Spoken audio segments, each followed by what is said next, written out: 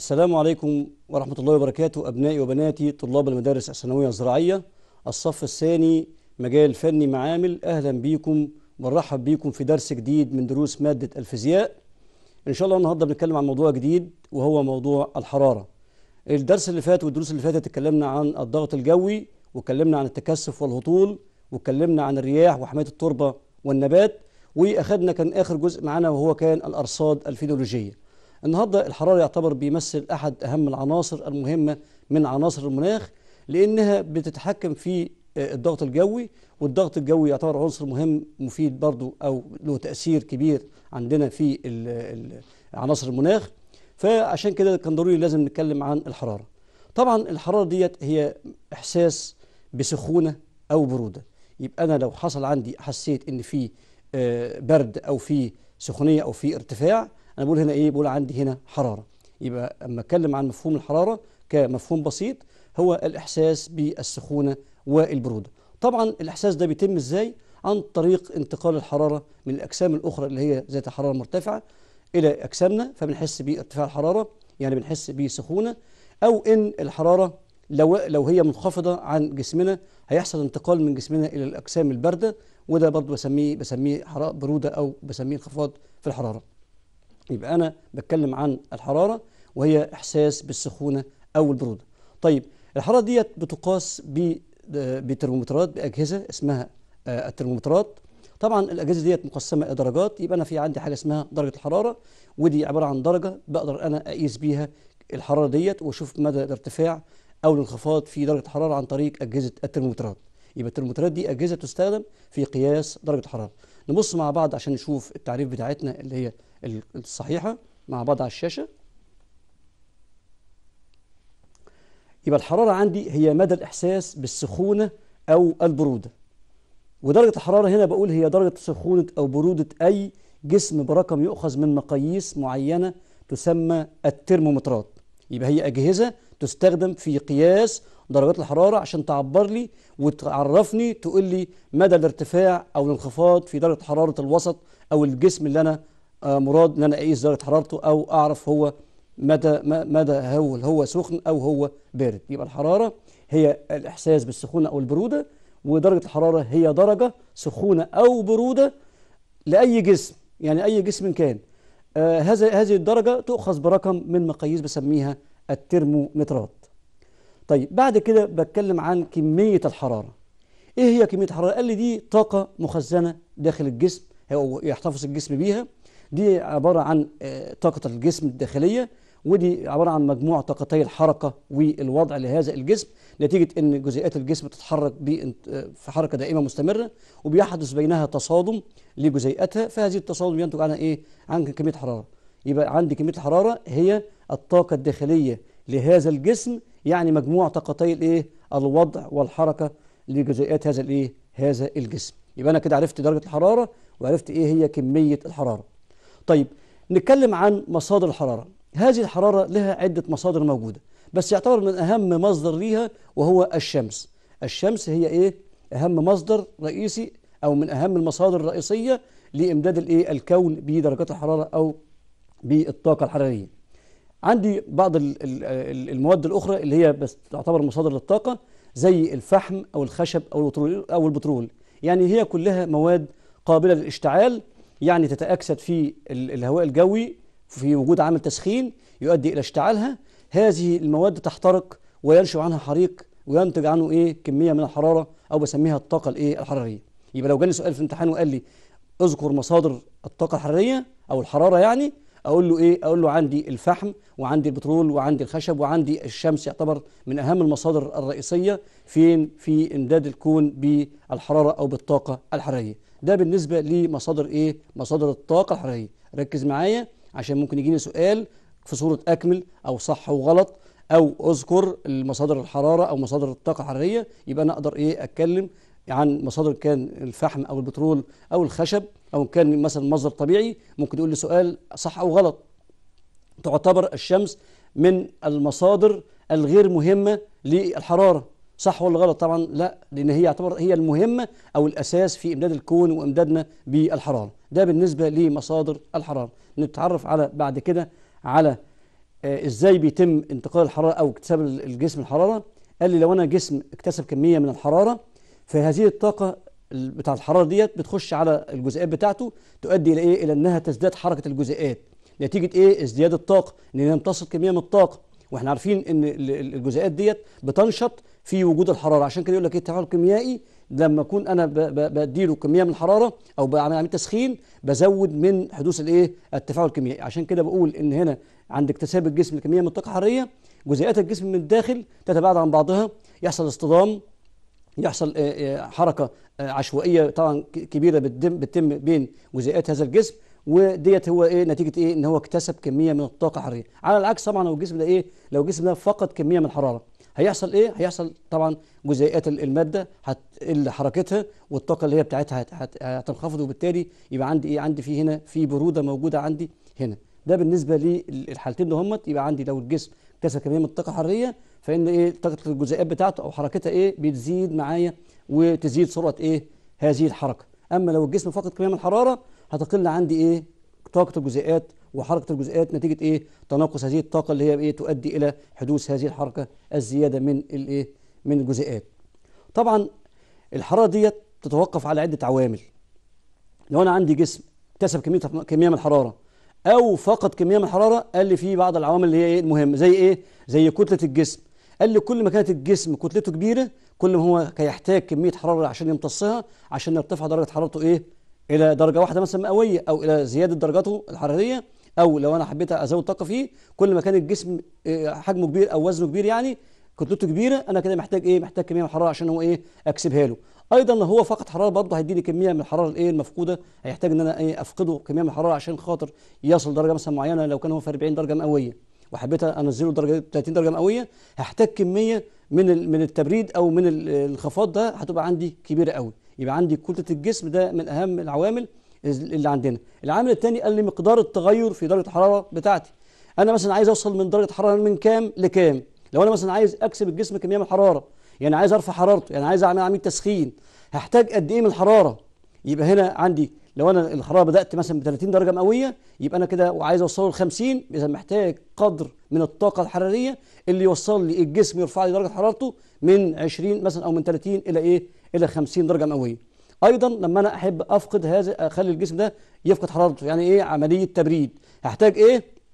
هحتاج مثلا أوصله من كان حرارته 50 درجة مئوية وعايز أرجعه ل 30 أو 35 أو 40 مقدار هذه الزيادة أو هذا الانخفاض ده بيتوقف على إيه؟ على كمية درجة الحراره اللي أنا عايز أوصل ليها. هل أنا آه، الجسم بتاعي في آه، حدود ال 20 أو ال 25 وعايز مثلا أرفعه 5 درجات أو 6 درجات أو 10 أو كتير؟ يبقى أنا كده محتاج إيه؟ كمية معينة من الحرارة تتوقف على إيه؟ على مدى الارتفاع بتاعي في درجة الحرارة أو الفرق ما بين الدرجة اللي أنا بدأت بيها والدرجة اللي أنا عايز أوصل ليها. العامل الثالث هو الحرارة النوعية. طبعا ال- ال- المواد ما هياش مش زي بعضيها. عندي مثلا النحاس غير الحديد غير الالومنيا غير الذهب غير الفضة. دي كلها عناصر لكل عنصر من هذه العناصر له حرارة نوعية. يعني تتوقف على نوع المادة بتاع الجسم. يعني يعني مثلا لما أجي أقول إيه أنا فلان أنا الشخص ده غير الراجل ده غير ده ده مثلا ده طويل ده قصير ده ضخم الحجم أو ده أم- آه، آه، صغير.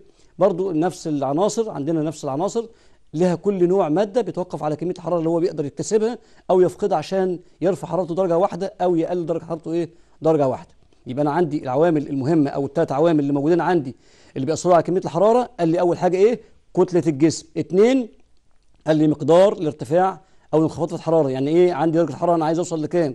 سواء كنت هرفع الحرارة أو هقلل إيه؟ الحرارة. الحاجة الثالثه اللي هي الإيه؟ الحرارة النوعية لمادة هذا الجسم. هل هي المادة الحراره المادة ديت بتحتاج إلى كميات حرارة أكتر؟ يعني لو أنا معايا جسمين واحد ألمونيا والتاني نحاس والاثنين قد بعض ولكن المادة دي غير المادة دي. أما أجي أسخن مثلا هنا الحرارة مثلا كانوا اثنين درجة حرارتهم اثنين بدأت بيهم 20 درجة مئوية. عايز أوصلهم مثلا ل 25 درجة مئوية. هلاحظ حاجة إن أنا هحتاج كمية حرارة مثلا في الالومنيوم تختلف عن كمية الحرارة اللي محتاجها فين حتة في تسخين النحاس عشان أوصل الجسمين إلى نفس الدرجة اللي هي كام؟ 25 درجة مئوية الاثنين مع بعض. يبقى دي بنسميها إيه؟ الحرارة النوعية اللي موجودة. وهنتكلم عليها ويعني إيه هو تعريف الحرارة النوعية للجسم أو للماده ده بالنسبة للعوامل اللي بتأثر لي على إيه؟ على كمية الحرارة اللي آه، بيكتسبها الجسم أو أو بيفتقدها الجسم. الحاجة اللي بعد كده قال لي حرارة الهواء. طبعا الهواء ده محيط بينا كلنا يعتبر برضو آه، آه، موجود معانا في كل ال- ال- الأشياء اللي بتحيط بينا أو كل ما فيش مثلا مكان فيه هواء إلا ما هنلاقي فيه مثلا حرارة مثلا عالية أو حرارة منخفضة. إذا الحرارة دي بترجع حرارة الجو أساسا إلى إيه؟ قال لي إلى إشعة الشمس. لأن الشمس دي هي قلنا هي العنصر الأساسي أو المصدر الرئيسي لإمداد الأجسام بالطاقة الحرارية أو بالحرارة. يبقى هنا الهواء بالتالي كان طبيعي إن هو إيه؟ إن هو يمتد حرارته من الشمس أو من أشعة الشمس. طبعا الحراره ديت مهمة جدا لها آثار آه، يعني على الإنسان والحيوان والنبات والطيور لأن كل نبات وكل حيوان وكل كائن حي بيحتاج درجة حرارة مثلا معينة في مراحل النمو المختلفة. آه، بلاحظ إن مثلا النبات بيحتاج ممكن في بطور البادره إلى درجة مثلا حرارة آه، وليكن 25 أو آه، 27 في دور مثلا طور ال- الإنضاج مثلا أو الإزهار مثلا بيحتاج إلى درجة حرارة مثلا 30 أو 32 عشان كده في عندي درجه حراره متغيره على طول إيه طول أيام السنة أو موسم السنة وإحنا بعد كده بنزرع النباتات بتاعتنا اللي هي إيه تتوافق مع درجه الحرارة دي. يبقى أنا عندي حرارة الجو ترجع لايه لاشعه الشمس أساسا. والحرارة لها تأثير على الإنسان والحيوان والنبات وطبعا زي ما أنا حكيت وقلت دلوقتي أو شرحت لحضراتكم دلوقتي ليكم إن الحرارة ديت إيه بتأثر لي على مراحل ال- ال- ال- الحيوية والبيولوجية داخل الكائن الحي سواء كان قلت إنسان أو نبات أو حيوان وكل مرحلة من مراحل النضج بتاع ال- ال- الكائن الحي ده أهو آه، بتحتاج مثلا درجه حرارة معينة. إذا مثلا لو أنا بصيت مثلا الحيوانات عندنا آه، بعض الحيوانات الصغيرة زي مثلا حيوانات مزرعه كالكتاكيت مثلا أو الحيوانات الكبيرة تحتاج مثلا في فترة حرارة مثلا معينة في أثناء الإيه؟ أثناء النمو بتاعها اللي هو في عمر الأسبوع الأولاني. بعد كده بحتاج إلى درجة حرارة مثلا إيه؟ تختلف شوية عن الأسبوع الأولاني. أيضا بعض المحاصيل بيحتاج زي درجة حرارة إلى آه، درجة مثلا حرارة للنمو الخضري وبيحتاج درجة حرارة مختلفة تانية عن اللي هو يديني مجموع الزهري أو المجموع الإيه؟ مجموع الثمري بتاعه. يبقى عندي الحرارة لها تأثير واضح على الكائنات الحية. عشان كده بقول عليها إنها أحد عناصر ال- ال- المناخ أو العناصر الجوية المهمة واللي لها تأثير كبير قوي على حياتنا وعلى حياة الكائنات الحية اللي موجودة على سطح الكرة الأرضية. ده بالنسبة لحراره الهواء. طيب نتكلم على إزاي بقى الأرض أو التربة تكتسب حرارتها. قال لي إن التربة دي بتكتسب حرارتها منين حتة قال لي من الهواء المحيط. يعني ما دام الهواء تلامس مع الشمس ويكتسب فيها كمية من الحرارة وهو متلامس مع سطح الأرض إذا بالتالي هيقدر إيه؟ هيسخن لي السطح الأرض أو الطبقة السطحية من الأرض اللي هي يعتبر فيها مجموع الخضري أو أو فيها مجموع الجذور اللي هو بتاع النباتات يعني اللي هي بينشط بقى الجذور ولها لها لها دور كبير هنتكلم عليه في أهمية حرارة التربة. يبقى عندي الحرارة بتاعه التربة بتكتسبها من حتة من الهواء الجوي اللي هو المحيط بيها أو الملامس بيها. أيضا التربة يوجد فيها بعض التفاعلات إيه الكيميائية اللي موجودة في التربة وبعض العمليات البيولوجية اللي ممكن منها تنتج كمية من الحرارة. زي مثلا إيه عندي مثلا بعض أنواع البكتيريا والفطريات وتنفس الجذور وبعض الديدان الموجودة في الأرض دي كلها كائنات حية موجودة عندي في التربة بتأثر لي على درجة حرارة الايه التربة. وما دام في نشاط عندي بيولوجي داخل الأرض يبقى أكيد هيحصل لي إيه؟ هيحصل عندي ارتفاع في درجة حرارة الأرض أو الأرض هتكتسب كمية من الحرارة من هذه الإيه؟ من هذه الكائنات الموجودة فيها سواء كانت هذه الكائنات دقيقة أو كائنات بكتيرية صغيرة يعني أو كائنات حية زي الديدان أو بعض الحشرات اللي أو بعض اليرقات اللي ممكن بتعيش عندي في التربة وبالتالي هتغير لي من درجة حرارة التربه التربه أو يعتبر هي عامل مساعد في أو من ضمن العوامل اللي الأرض بتكتسب منها إيه؟ الحرارة بتاعتها. ده بالنسبة لمصادر الحرارة أو الطرق اكتساب الأرض للحرارة بتاعتها. بعد كده عندي تاني إن التربه بتتاثر برضو بعدة عوامل زيها زي الإيه؟ زي الهواء اللي عندنا. قال, قال لي أول حاجة إن في درجة شفافية الغلاف الجوي. يبقى عندي بدام الهواء اللي عندي شفاف ومفيش فيه غبار ولا أي عوالق ولا أي حاجة تحجب أشعة الشمس يبقى أكيد الأرض إيه؟ هترتفع درجة حرارتها. لأن لو في عندي أي غلاف آه، فيه شوائب أو فيه عوالق جو- جوية وبالتالي ده بيأثر لي على مدى الإشعاع أو قدرة أو قدرة أو نفاذ الأشعة الحرارية بتاعت الشمس إلى إيه؟ وصولها للأرض. وبالتالي كل ما زادت الشفافية عندي كل ما ارتفعت عندي إيه؟ درجة حرارة الأرض. أيضا عدد ساعات سطوع الشمس أو أشعة الشمس. أنا عارف إن اليوم الشمسي عندي بيبدأ مثلا من الصباح الباكر وليكن مثلا الساعة 7 الصبح أو الساعة 6 حسب مواسم فصول السنة تبدأ عندي الشمس بتشرق عندي وتستمر طول النهار إلى أن تغرب الشمس في حوالي الساعة السادسة أو الخامسة مساء حسب التوقيت اللي هو الصيفي أو إذا كنا في ال- الشتاء. آه، طبعا الفترة دي كلها بسميها إيه؟ مدة سطوع الشمس أو عدد ساعات سطوع الشمس. فكل ما كان عندي عدد سطوع الشمس عدد سطوع ساعات الشمس كتير يعني أكبر. كل ما كان عندي كمية الحرارة الموجوده في الأرض إيه أكتر. عشان كده الأرض في الجو الشتاء البارد ما بتكتسبش حرارة كتير لأن عندي فترة سطوع الشمس بتبدأ عندي من الساعة السابعة ولو كان في جو فيه شبورة أو بعض ال- ال- العوالق اللي موجودة عندي يحتاج عندي أشعة الشمس وبالتالي أيضا لما آه، في وقت الغروب قبل الغروب بساعتين ثلاثة بيكون عندي فيه غيام وفيه سحب تؤثر لي على على شفافية هذا الغلاف الجوي وبالتالي آه، بيتقلل عندي إيه؟ تقلل عندي كمية الأشعة اللي هي تصل إلى الأرض وترفع درجة حرارتها. يبقى عندي درجة شفافية الغلاف الجوي ده عنصر مهم وأساسي بيأثر لي على مين؟ على درجة حرارة الإيه؟ التربة. الحاجة الثانية قال لي عدد ساعات زي ما قلناها بعد كده زاوية ميل أو سقوط الأشعة على الأرض. كل ما كان عندي زاويه سقوط الأشعة على الأرض عمودي كل ما كان إيه؟ كل ما كانت الحرارة كتير. يعني إذا آه، إحنا آه، بال يعني شفنا الشمس وهي بتشرق في الصباح الباكر بلاقي حرارتها إيه منخفضة شوية ليه لأن زاويه الميل بتاعة الشمس وهي تسقط على الأرض بتكون إيه؟ بتكون بسيطة. يعني مثلا تكون 20 درجة 30 درجة. وكل ما النهار يزيد مثلا نصل لفتره الضحى تزيد مثلا درجة الزاوية إلى كام؟ إلى 40 أو إلى 50 ليه لأن نصل إلى الظهيرة بتكون الشمس هنا عمودية على المكان اللي هي موجودة فيه وبالتالي كل ما كانت زاويه سقوط أشعة الشمس على الأرض كل ما كانت كبيرة كل ما ده كان إيه؟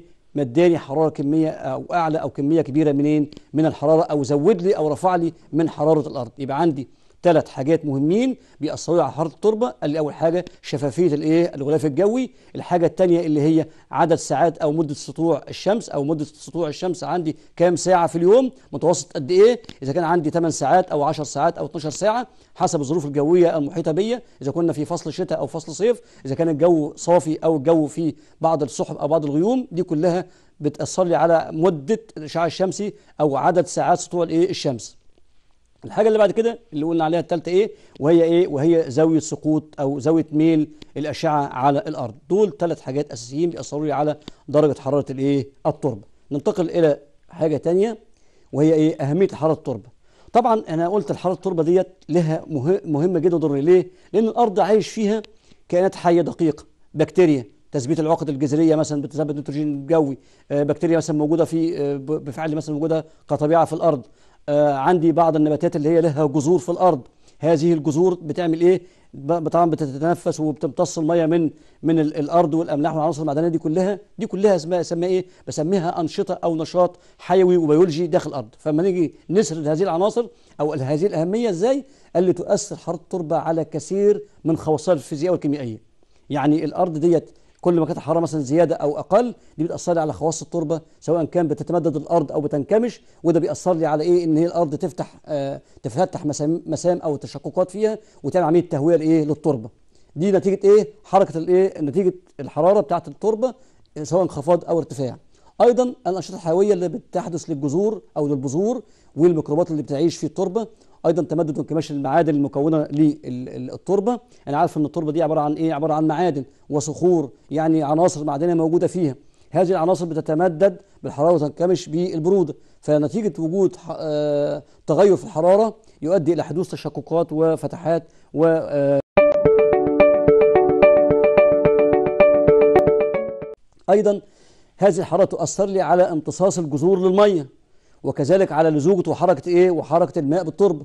يبقى كل ما كان عندي الجو دافي ومناسب للنباتات اللي عندي زارعها في الأرض كل ما كان إيه الجذور بتشتغل بكفاءة عالية وتمتص المياه بكفاءة عالية. لكن لو عندي انخفاض ملحوظ في الحرارة أو ارتفاع شديد في الحرارة ده يؤثر لي على إيه؟ على حيوية الجذور وبالتالي ما تقدرش إنها إيه تمتص كمية الميه اللازمة للنبات ده ونمو النبات. أيضا تؤثر على الحرارة على إيه؟ على اذابه الأملاح بالمحلول الأرضي. وكذلك على حركة الغازات بالتربه أنا قلت لو أنا عايز أزود من سرعة التفاعل الكيميائي أعمل إيه؟ بزود الحراره طيب ليه؟ عشان خاطر أنا كده بسرع التفاعل في الاتجاه اللي هو إيه؟ اللي هو أيضا بارتفاع الحرارة تؤدي إلى إيه؟ إلى ذوبان قدر كبير من الأملاح اللي موجودة عندي في التربه وبالتالي تعظم من درجة الاستفادة منها عن طريق النبات أو جذور النبات. يبقى كل ما الحرارة كان مناسبة وكانت مثلا مرتفعة يؤدي ذلك إلى حدوث ذوبان لكمية من الأملاح اللي موجودة في الأرض. وبالتالي تبقى في صورة ميسرة للنبات عشان يقدر يمتصها ويقدر يستغلها في إيه في النمو بتاعه وإنتاج المركبات العضوية أو المركبات الغذائية اللي إحنا زارعين النبات عشانها من أجلها. طيب أيضا الحراره تلعب دور في تحلل المادة العضوية. إحنا عارفين إن المادة العضوية ديت عبارة عن إيه؟ عبارة عن مخلفات مثلا آه، النباتات والبقايا النباتات والسماد العضوي وبعض البكتيريا وبعض ال- الكائنات الحية الدقيقة الموجودة والديدان الأرض وبعض الإيه؟ الكائنات اللي تعيش في الأرض. دي كلها عبارة عن مادة عضوية.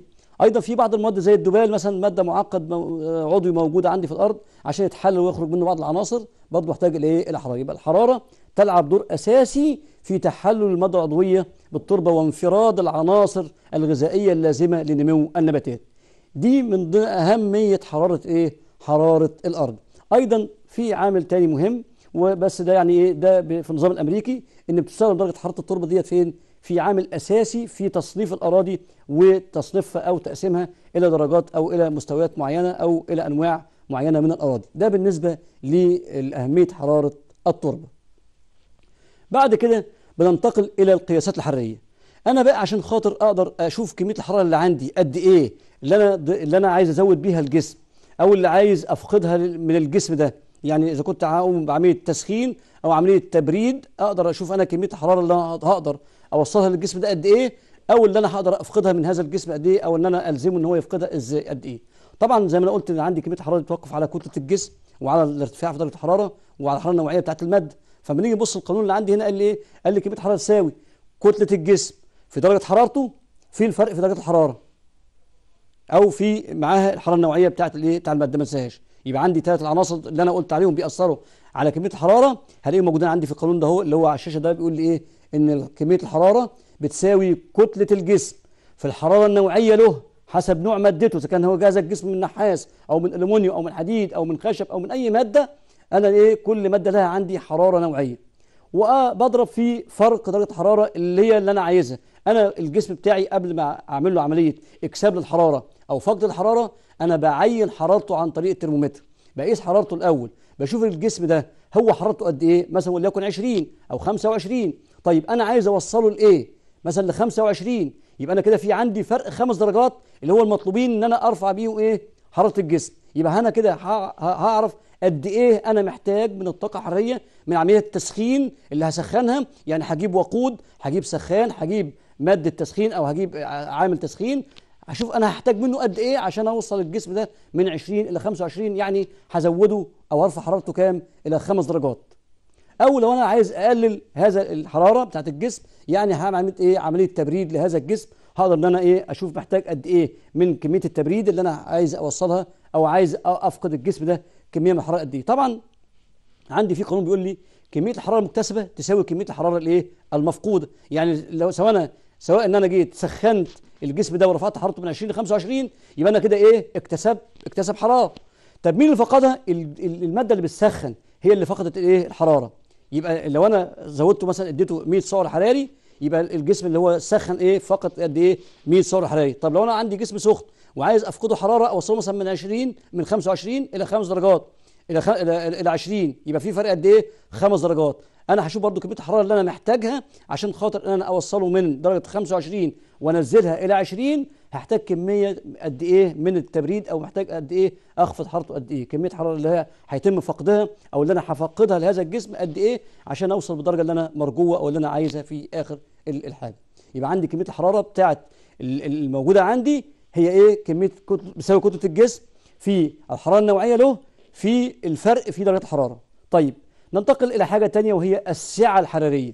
لاحظ حاجة يا ابني إن دي كلها عبارة عن مواد آه، تعريفات ويعني مصطلحات علمية لازم أنت تكون ملم بيها وتكون على دراية بيها. عشان كده أنا بحاول إن أنا اوضح لك ال- ال- المعنى بتاع ال- ال- التعريف أو بتاع المصطلح العلمي اللي قدامك ده عشان تقدر إنك أنت برضو توصل إلى إنك أنت تكتب في الامتحان إذا كان جالك تعريف أو كانك صح أو غلط أو أي حاجة من الحاجات دي كلها يبقى أنت فاهم ما أنتش حافظ وخلاص. طيب السعة الحرارية عند الجسم هي كمية الحرارة التي يجب أن يزود بها الجسم. لكي ترتفع درجة حرارته درجة واحدة إيه؟ مئوية وتقدر بالجول أو السعر. يبقى أنا بقدر أشوف الجسم ده عشان أنا هسخنه محتاج قد إيه من الحرارة؟ يعني أنا هزوده بقد إيه؟ ه- هكسبه كمية حرارة قد إيه؟ هذه الكمية بسميها إيه؟ السعة الحرارية للجسم. يبقى لو أنا عندي جسم موجود مثلا وزنه 100 جرام أو 200 أو طن أو 10 كيلو أو ايا كان الكتلة بتاعته أنا بشوف السعه قد إيه. يعني محتاج كمية حرارة قد إيه اللي أنا محتاج أزوده بيها عشان أنا أرفع حرارته إيه درجة واحدة مئويه دي بسميها السعه الحرارية للجسم. يبقى لاحظ حاجة في فرق بين السعه الحرارية وبين كمية الحرارة وبين درجة الحرارة وبين الحرارة. دي كلها مفاهيم وتعريف أنت لازم تكون إيه عارفها ومركز فيها. ده بالنسبة للسعه إيه الحرارية. أيضا قال لي السعه الحرارية بتساوي إيه؟ بتساوي كتلة المادة دي أما أضربها. في حرارتها النوعية هتديني إيه؟ هتديني السعه الحراريه يبقى كمية الحرارة اللي أنا محتاج أزود بيها المادة دي قد إيه؟ عشان أرفعها درجة واحدة مئويه بس. قال لي باخد أنا كتلة هذه المادة وبعرف وزنها قد إيه. بضربها في معامل أو بسميه الحرارة النوعية ليها لهذه المادة بيديني السعة الحرارية اللي هي محتاجة آه إن أنا أسخنها أو محتاج إن أنا إيه؟ أبردها عشان تفقد الحرارة بتاعتها. كده هننتقل بقى إلى الحاجة المهمة أو التعريف المهم. وهو إيه اللي أنا عمال أتكلم فيه من, من شوية بقول الحراره النوعيه للماده إيه هي الحراره النوعيه للماده قال لي هي كمية الحرارة اللازمة لرفع درجة حرارة جرام واحد من المادة درجة واحدة مئوية. الكلام ده تقدر بإيه؟ قال لي تقدر بوحده الجول لكل كيلو جرام يبقى الحرارة النوعية للمادة هي كمية الحرارة اللازمة لرفع درجة حرارة واحد جرام من المادة درجة واحدة إيه؟ مئوية. دي بسميها الحرارة النوعية. لما أجي مثلا أقول النحاس محتاج مثلا إيه؟ 9 من 10 سعر حراري. يعني الجرام الواحد من النحاس عشان أسخنه من درجة حرارة 14 درجة مئوية أو 15 درجة مئوية وأرفعها ل 16 درجة يعني يعني إيه؟ أزود معايا درجة واحدة محتاج 9 من 10 سعر حراري. دي بسميها إيه؟ الحرارة النوعية للنحاس طبعا كل مادة لها درجة حرارة معينة أو لها كمية حرارة محتاجاها عشان ترتفع حرارة الجرام الواحد منها درجة واحدة مئوية. دي بسميها الحرارة إيه؟ نوعيه يبقى الحرارة النوعية هي كمية الحرارة التي تلزم لرفع درجة حرارة 1 جرام من المادة درجة واحدة مئوية وتقدر بوحدة إيه؟ الجول لكل جرام كل جرام. طب السعر هو إيه؟ برضو السعر ده قال لي هو كمية حرارة اللازمة لرفع درجة حرارة إيه بقى؟ قال لي 1 جرام من المية. يبقى أنا السعر ده standard عندي بقى هو مقياس هقيس بيه إيه؟ الحرارة النوعية للمواد الثانية طب جبنا مين اللي هو الأساسي أو اللي هو اخذناه استندر معانا أو أو أو أو كمية أساسية هقدر أعبر بيها عن الحرارة بتاعت المواد الثانية وهو إيه؟ المية. فقال لي السعر هنا عبارة عن إيه؟ كمية الحرارة اللازمة لرفع درجة حرارة 1 جرام من المية درجة واحدة إيه؟ درجة واحدة مئوية. ده بسميه السعر الحراري. يبقى أنا اتكلمت من شوية وقلت النحاس محتاج إلى 9 من 10 أو 94 من 100 بالتحديد يعني. سعر عشان إن أنا أرفع حرارته من درجة حرارة مثلا 10 إلى 11 أو من 14 ل 15 يعني إيه؟ الجرام الواحد محتاج قد إيه من الحرارة عشان يزيد درجة واحدة مئويه حرارته. ده بسميه إيه؟ بسميه هنا السعر الحراري عندي. يبقى السعر هو كمية الحراره اللازمه لرفع درجة حرارة جرام واحد من المية درجة واحدة مئويه ما بين إيه؟ ما بين 14 ونص و15 ونص إيه؟ درجة مئويه ده بالنسبة للسعر طب الكيلو سعر كيلو سعر يبقى إيه؟ يبقى 1000 على طول. يبقى كمية الحراره اللازمه لرفع درجة حرارة جرام 1 كيلو جرام من المادة دهيت أو من المية دهيت درجة واحدة إيه؟ مئوية. ده بالنسبة للكيلو سعر يبقى في عندي السعر والكيلو سعر الكيلو سعر بيساوي إيه؟ بيساوي 1000 سعر حراري. طب أنا عرفت السعر هو إيه؟ هو كمية الحراره اللازمه لرفع درجة إيه؟ حرارة جرام واحد من المية درجة واحدة مئوية. يبقى الكيلو سعر يبقى أقول كمية الحراره اللازمة لرفع درجة 1 كيلو جرام من الماء درجة واحدة إيه؟ واحدة مئوية ما بين 14 ونص و15 ونص درجة إيه؟ مئوية. طيب هنا بيحصل عندي عملية اتزان حراري. ما بين إيه بقى؟ ما بين كميه الحرارة اللي أنا هكسبها للجسم واللي هو إيه؟ هيفقدها أو أو اللي فقدها الجسم أو اللي أنا يعني جبت جسم سخن وجسم بارد يعني انخفض عنه الحراره ووصلت الاثنين ببعض هيحصل عندي اتزان حراري ما بين الاثنين. إزاي؟ قال لي بتنتقل الحرارة من الدرجة الأعلى إلى الدرجة الأقل وبالتالي لحد ما تساوي الاثنين يبقى أنا قست بالترمومتر. الجسم الأولاني رقم واحد. وشفت حرارته قد إيه؟ مثلا لقيتها لقيتها 27 هلاقي الجسم الثاني 27 هنا بقول فيه إيه؟ اتزان حراري. لكن بالرغم إن كان قبل كده كان عندي الجسم الأولاني كان كام؟ كان 30 والثاني كان كام مثلا؟ كان 26 ولكن حصل استمرار لانتقال الحراره ما بين الجسم اللي هو أعلى الحرارة إلى الجسم المنخفض في الحرارة لحد ما حصل عندي اتزان حراري. ده بسميه إيه اتزان حراري. أما أجي اقرا بقى المنطوق بتاع العبارة دي إزاي؟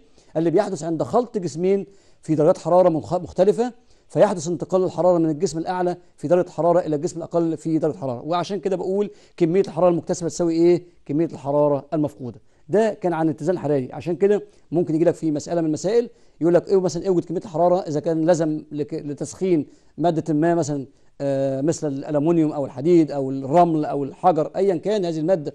لو كان طلب مني آه قال لي إذا كنت علمت أن كمية الحرارة التي يكتسبها هذا الجسم لرفع حرارته مثلا 20 درجة مئوية هي 200 سعر حراري.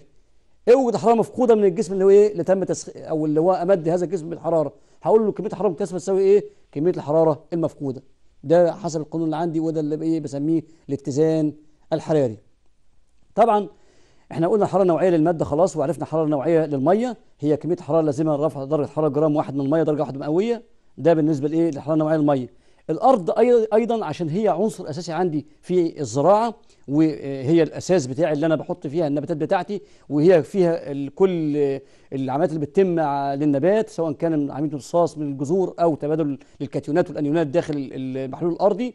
عن طريق بين جذر النبات والمحلول الأرضي وانتقال العناصر الغذائية من التربة إلى إلى النبات أو نشاط بعض الكائنات الحية الدقيقة اللي موجودة عندي.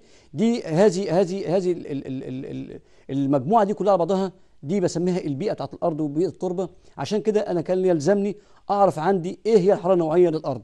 فأنا هتكلم عن الأرض برضو نفس التعريف ولكن هشيل كلمة المية أحط إيه؟ أحط الأرض. يبقى نبص معايا على الشاشة كده يعني إيه حرارة نوعية للأرض؟ قال لي كمية الحرارة اللازمة. لرفع درجة حرارة جرام واحد من التربة اللي هي الأرض اللي معايا يعني درجة واحدة مئوية. وبرضو وحدتها هي السعر لكل جرام درجة مئوية. يبقى أنا يا ابني لازم آخد في بالي إن نفس التعريف هو الحراره النوعيه للمادة هو الحراره النوعيه للأرض هو الحراره النوعيه للمية ولكن لما أجي يطلب مني أذكر حرارة نوعية إيه الحرارة النوعية؟ آه يبقى أنا عارف إيه الحرارة النوعية عامة كجنرال كحاجة standard عندي. أما أجي أقول له التربة يبقى هتكلم عن إيه؟ 1 جرام من التربة عشان ارفع حرارته درجة واحدة مئوية محتاج قد إيه؟ من كمية الحرارة. ده بالنسبة للحراره النوعية لمادة الأرض. قال لي تتوقف هذه الحرارة النوعية لمادة الأرض برضو على إيه؟ على نوع المعادن الموجوده فيها. هل هي مثلا فيها معادن مثلا آه كأولايت ولا ليمونايت ولا مثلا فيها حديد فيها فوسفات فيها آه احجار مثلا مركبة معقدات مثلا دي كلها بتشكل لي عندي التربة اللي معايا. فأنا لو أنا شفت خدت معايا جرام واحد من هذه التربة وشفت حرارتها النوعيه هلاقيها تختلف من مكان إلى مكان آخر حسب إيه تركيب الأرض اللي معايا ديت والعناصر الموجوده فيها أو نوع المعادن اللي إيه السائدة عندي في هذه الأرض أو المكونة لهذه الأرض. ده بالنسبة للحرارة النوعيه لمادة الأرض. عشان كده أنا مهم قوي أعرفها ليه؟ عشان لما أحب أرفع حرارة الأرض نوعيا ويجيني مثلا سؤال في الامتحان يقول لي علل زيادة الرطوبة في التربة لرفع إيه؟ أو بيزيد منين؟ من قيمات من قيمات من من الحرارة النوعية للتربة. ليه؟ قال لي لأن المية طبعا أنت عارف إنها إيه؟ إنها الجرام الواحد من المية ده أهو بيديني حوالي خمس مرات للحراره اللي هي اللازمة لتسخين الإيه؟ لتسخين التربة. يبقى لما أجي أنا أضيف المية على الأرض يبقى أنا كده بزود الأرض من المية وبدخل لها عناصر جديدة. هذه العناصر إيه؟ عندها قدرة على الاحتفاظ بالحرارة بتاعتها وبالتالي ما تفقدهاش بسرعة وبالتالي تحافظ لي على إيه؟ على درجة حرارة الأرض. يبقى أنا لما أجي أشوف السؤال منطوقه صح إزاي؟ قال لي علل زيادة الرطوبة في التربة ترفع من حرارتها النوعية. الإجابة الصحيحة اللي هي تتكتب معايا في الامتحان المرتبة اللي هذا يرجع إلى إن الحرارة النوعية للمية حوالي 1 سعر جرام. لكن حرارة الماد حرارة الماء النوعية خمس أضعاف مين التربه يعني أنا مثلا قلت حرارة النوعية للمية عشان أرفع درجة حرارة جرام واحد من المية. درجة واحدة مئوية محتاج سعر. لكن لو أنا جبت جرام من التربة محتاج كام؟ محتاج حوالي خمس السعر ده يعني حوالي 2 من 10 مليون حتة من هذا السعر. عشان إيه؟ عشان أرفع بيه جرام واحد من التربة درجة واحدة مئويه إذا بالتالي المية لها القدرة على إنها تحتفظ بالإيه؟ بالحرارة النوعيه أو بحرارتها كتير أكتر. وبالتالي لما يجي عندي موج الصقيع أو أي حاجة يقول لي إيه؟ اروي الأرض رية خفيفة. ليه؟ عشان أنا أحافظ على الحرارة اللي موجودة عندي في التربة لأن كده برفع من إيه؟ من حرارة النوعيه للأرض. عشان كده بفكرك في الدرس الأولاني أو الدرس الثاني لما قلنا على الصقيع لما يبقى عندي تنبؤ بموجة صقيع بعمل إيه؟ إن أنا بأروي الأرض عندي ري خفيف عشان بزود محتوى الأرض من الرطوبة عشان تحافظ لي على الحرارة الموجودة في التربة وبالتالي ما تفقدهاش وبالتالي تحافظ لي على النبات ويفضل البيئة المحيطة بالنبات بيئة دافئة. وعلى ما تعدي موجة الصقيع ديت أو تطلع الشمس ويبدأ الأرض تستفيد تستعيد أو تمتص كمية من أشعة الشمس وتبدأ حرارتها ترتفع تاني. يبقى هي الفترة دي يبقى أنا لو ريت عندي المحاصيل بتاعتي ري خفيفة بحافظ على إيه؟ على الحرارة الموجودة عندي. ليه؟ عشان خاطر المية حرارتها نوعيه أعلى من حرارة التربة وبالتالي هتحافظ لي على على كمية الحرارة الموجودة عندي. ده بالنسبة للسؤال بتاعنا ومنطوق السؤال اللي عندنا. طبعا ننتقل لموضوع تاني وهو إحنا إزاي هذه الحرارة تنتقل؟ قال لي في عندي انتقال الحراره ديت له ثلاث حاجات. قال لي أول حاجة انتقالها بالحمل يعني في حاجة بتاخد الحرارة وتنقلها من مكان لمكان آخر. يعني في عامل وسيط في النص بينقل الإيه؟ الحرارة من مكان إلى مكان آخر. يبقى الحمل هو انتقال الحرارة بواسطة إيه؟ المادة الايه الحاملة من مكان إلى مكان آخر. يبقى زي إيه؟ مثلا زي الهواء. أنا مثلا يبقى إحنا قاعدين النهارده الحرارة بتاعتنا 25 الجو المحيط بينا. حراره تمام زي الفل. بعد الساعتين ثلاثة ابص ألاقي الجو قلب بقى موجة حر جاية شديدة قوي. في خصوصا في جو الصيف. ألاقي ليه إيه اللي حصل؟ إيه اللي غير الجو ده؟ إن في موجة هواء جاية إيه، وحرارتها مرتفعة وبالتالي اتنقلت من مكان حرارته أعلى عن المكان اللي أنا قاعد فيه النهارده وبالتالي غيرت لي من إيه؟ من الجو اللي معايا ونقلت لي الحرارة وجابتها لي. يبقى في عندي انتقال حرارة بالحمل يعني في مادة بتحمل حرارة وتنقلها من مكان إلى مكان آخر. النوع الثاني من طرق انتقال الحرارة وهو إيه؟ التوصيل. يعني التلامس. أنا عشان خاطر أوصل آه، عشان أوصل جسمين ببعض الجسمين دوت واحد مرتفع في الحرارة والتاني منخفض الحرارة. هيحصل انتقال ما بين الطاقة الحرارية بين جزيئات المادة دي للمادة ديت ويفضل يتسرب إلى باقي جزيئات المادة اللي هي المنخفضة في الحرارة لحد ما يحصل عملية اتزان حراري يبقى هنا انتقال الحرارة إيه بالتلامس. طب لو ما كانش في توصيل أو تلامس هل هيتم انتقال الحرارة؟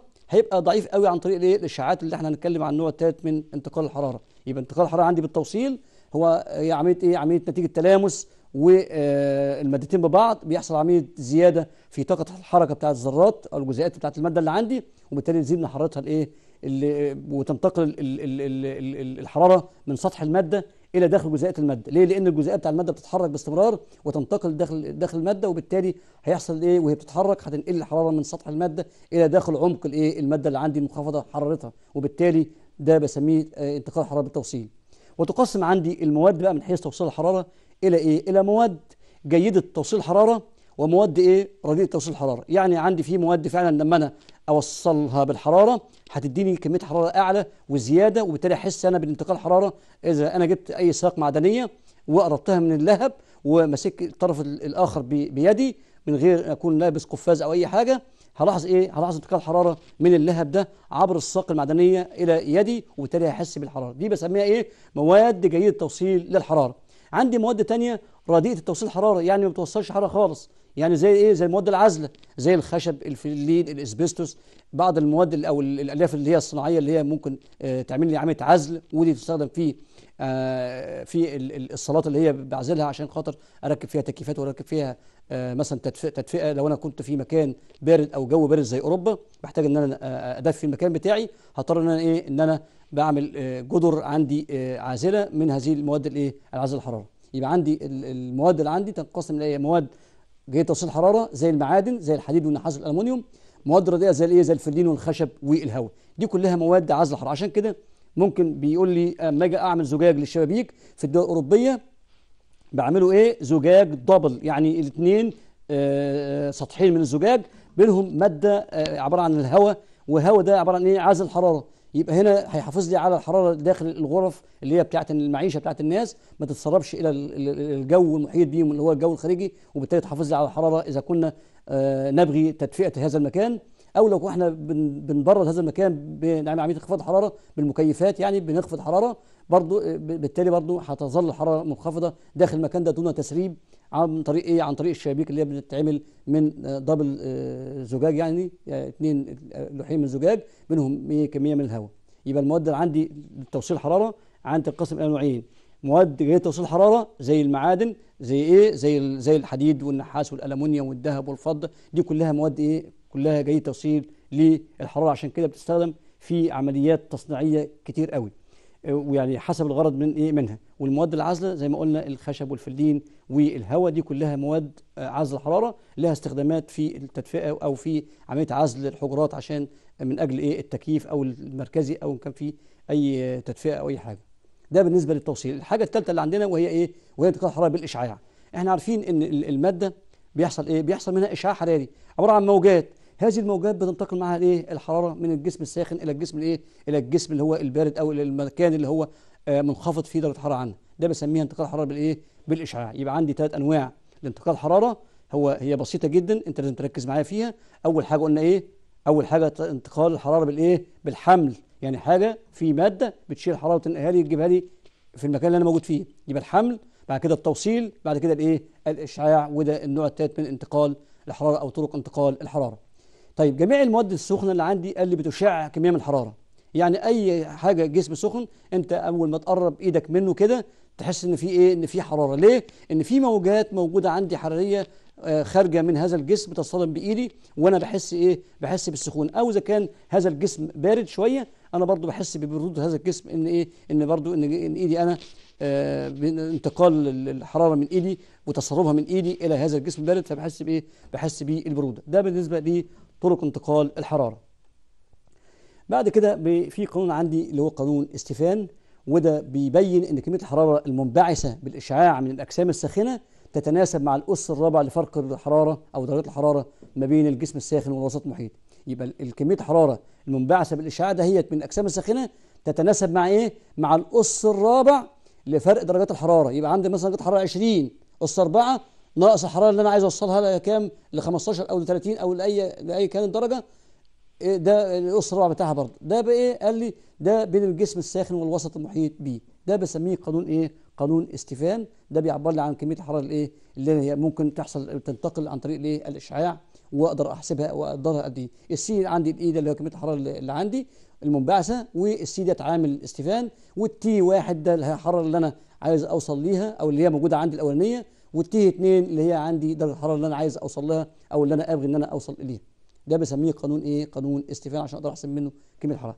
بعد كده بننتقل إلى حاجة آه، درس أو موضوع تاني وهو تمدد إيه؟ الاجسام بالحرارة. إحنا بدأنا بنتكلم في الحراره النهارده يبقى أكيد هنتكلم على تأثير الحرارة على الاجسام وعلى المواد.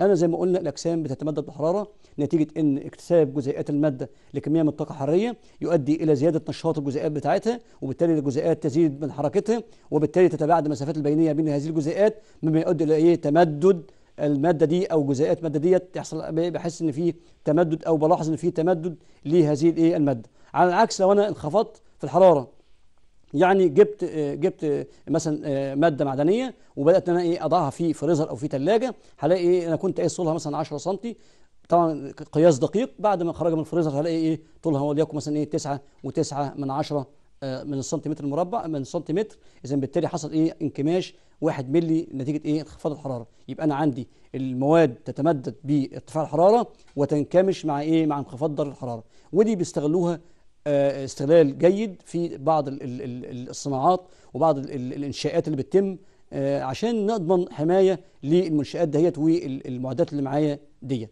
ده بالنسبة لتمدد الاجسام وعشان نعرف الكلام ده بناخد تجربة بسيطة عشان نقدر إيه نعرف إيه إزاي بيتم الكلام ده. بص معايا على الشاشه هتلاحظ عندي في تجربة أهوت. لو أنا جبت معايا آه، حلقة هذه الحلقة المعدنية مثبتة على حامل زي ما شايف كده في على إيدك اليمين هتلاقي الكرة اللي هي لونها رصاصي ديت ديت آه، كرة اهيت. أنا لما أحط لما أجيب كرة معدنية وأمررها من هذه الحلقة ومسكها بسلسلة بإيدي هلاحظ إنها الكرة دي بإيه؟ بتمر من هذه الحلقة آه، دون أي أي مشاكل. لأن الإيه؟ فتحة الحلقة دي أو القطر بتاع الحلقة دي اللي هو المثبت على الحامل ده بالظبط بيساوي إيه؟ بيساوي قطر الكرة اللي أنا ماسكها بإيدي دي. عشان كده بتمر من خلال إيه الحلقة؟ طيب لما أجي بقى على الصورة الثانية اللي هي إيدك اليمين وانت بص على الشاشة كده هتلاقي إيه؟ الكرة دي لونها أحمر. يعني عملت عمليه إيه؟ عمليه تسخين. تسخين يعني إيه؟ يعني في تمدد.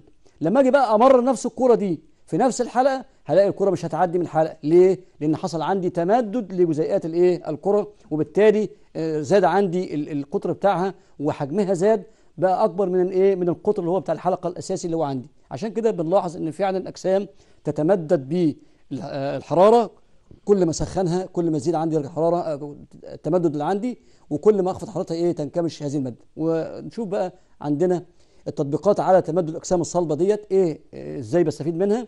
قال لي لما أجي أنا أمد خطوط سكة حديديه بسيب مسافات صغيرة ما بين كل آه، فصلة وفصلة أو قضيب آه، وقضيب أو وصلة ووصلة عشان إيه؟ عشان أعمل حسابي إن القضيب القطر ده أو الحديد ده هيتمدد مع ارتفاع الحرارة بتاع الشمس. يعني مثلا الساعة الظهر أو الساعة 2 الظهر هلاقي الشمس تتعامد على المكان ويبقى عندي الحديد ده اكتسب كميه الحرارة وبالتالي إيه هيتمدد. طب لما يبقى عندي آه، سكة حديد طولها مثلا 100 كيلو متر لو أنا ما عملتش فيها فواصل هلاحظ إيه؟ هلاحظ إن طول 100 كيلو متر ديت هتتمدد بمقدار كبير جدا يؤثر لي على شكل السكة وبالتالي يؤدي إلى انعواج, أو انحراف في القضبان وانعواج القضبان وبالتالي يؤثر لي على حركة القطارات ويسبب لي بعض الحوادث. عشان كده بنلاحظ إن في فواصل ما بين كل وصلة وواصله من قضبان السكك الحديدية. الحاجة الثانية عند بناء الجسور اللي هي الكباري والأسقف المعلقة والحاجات دي كلها المعدنية والشدات المعدنية بلاحظ إيه؟ قال لي إن أنا بثبت الكوبري ده من يمة من طرف أو المهازيم المنشاه المعدنية من طرف وبسيب الطرف الثاني حر الحركة. ليه؟ عشان لما يتمدد معايا يبقى فيه خلوص بسيط يقدر إن أنا إيه عندي ال ال ال الجسم ده تمدد نتيجة ارتفاع الحرارة بتاعة الشمس. وأيضا لو حصل انخفاض الحرارة بينكمش هذا الجسم وبالتالي يبقى في عندي إيه طرف حر أقدر إن هو الجسم يتمدد وينكمش يعني ينكمش أو يتمدد من خلال إيه تأثير الحرارة عليه. ده في بناء الجسور والطرقات اللي هي عندنا أو الكباري اللي هو الأسقف الموجود عندنا. طيب الحاجة اللي بعد كده قال لي تمد خطوط التليفون. كان زمان خطوط التليفون بتتشد على أعمدة هذه الأعمدة الخشبية أو الأعمدة الحديدية وكان سلوك عبارة عن مادة نحاس. هذه السلوك كان بينتقل فيها الإرسال بتاع التليفون أو التلغراف كإشارة كهربية تصل عشان يقدروا يتواصلوا وتتصل الناس ببعضها عن طريق التليفون أو التلغراف. فكان الأسلاك ديت كان بتيجي في فصل الصيف نتيجة ارتفاع الحرارة تبدأ إنها إيه؟ إنها تزداد في الحجم بتاعها يعني الطول بتاعها يحصل فيه زيادة في الطول يعني يعني في تمدد نتيجة ارتفاع الحراره فممكن الأسلاك دي تلمس بعضها أو يحصل فيها إيه؟ مشكلة. فعشان كده بي بي بيتم شد الخطوط ديت شد شد بمستوى معين في وضع مناسب من أجل إيه؟ حساب التمدد أو الانكماش بتاع مين؟ بتاع هذه الأسلاك. أيضا يراعى التمدد في المباني.